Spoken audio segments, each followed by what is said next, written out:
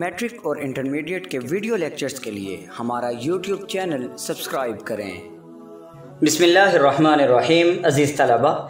आज के इस लेक्चर में हम इस्लामियात जमात दहम, हदीस नंबर तेरह और हदीस नंबर चौदह के मुख्तसर सवाल के जवाब पढ़ेंगे। तो आइए बिला तखिर लेक्चर का बाकायदा आगाज़ करते हैं और हदीस नंबर तेरह से अपने सबक का आगाज़ करते हैं। सवाल नंबर एक तर्जुमा लिखें। बिसमीम मन तख़त रिक़ाबन्नासी यौमलजुमाती इतख़ जसरन इला जहन्नम। इसका जवाब है, इसका तर्जुमा है कि जो शख्स जुमा के दिन लोगों की गर्दनों पर से फैलांग कर आगे गया, गोया उसने जहन्नुम की तरफ़ पुल बनाया। सवाल नंबर दो, जुमा के आदाब बयान करें या मजलिस के आदाब बयान करें?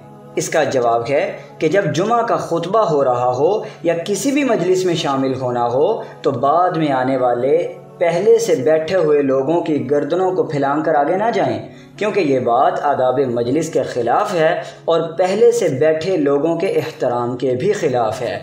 नेज़ तहजीब सलीका के भी मुनाफी है। लिहाजा शाइस्तगी के साथ जहाँ जगह मिले, वहीं बैठ जाना चाहिए। आइए अब हदीस नंबर चौदह के सवाल के जवाब पढ़ते हैं। सवाल नंबर एक, तर्जमा लिखें। इदा उकीमत सलाती, फ़ला तूहा तसाउना व आतूहा तमशूना वालेकुमसकीना फ़मा अदरकतुम फ़सलु वमा फ़ातकुम फ़अतिम्मु। इसका तर्जमा और इसका जवाब है कि जब नमाज़ खड़ी हो जाए तो उसके लिए दौड़ते हुए ना आओ, बल्कि इत्मीनान और वक़ार से चलते हुए आओ। जो नमाज़ तुम पा लो, उसे अदा कर लो, और जो तुमसे रह जाए, उसे पूरा कर लो। सवाल नंबर दो, नमाज़ खड़ी हो जाए तो नमाज़ में शामिल होने के लिए किस तरह आना चाहिए? या नमाज़ बाजमात के आदाब बयान करें। इसका जवाब है कि नमाज़ बाजमात के लिए अव्वल तो वक्त पर मस्जिद में पहुँचें। और तकबीर ओला में शरीक हों।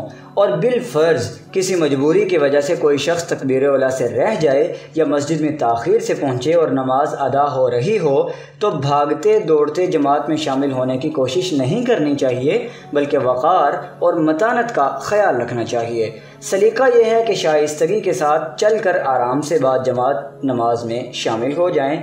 जितनी रकतें जमात के नसीब हो जाएँ, उनको जमात के साथ पूरा कर लें और बाकी को बाद में पूरा कर लिया जाए। भाग भाग कर आना नाशाइस्ता अमल है और खाना खुदा, यानी मस्जिद के आदाब और इंसानी वक़ार के ख़िलाफ़ है। अज़ीज़ तलबा, आज के इस लेक्चर में हमने इस्लामिया जमात दहम हदीस नंबर तेरह और चौदह के मुख्तसर सवाल के जवाब पढ़े।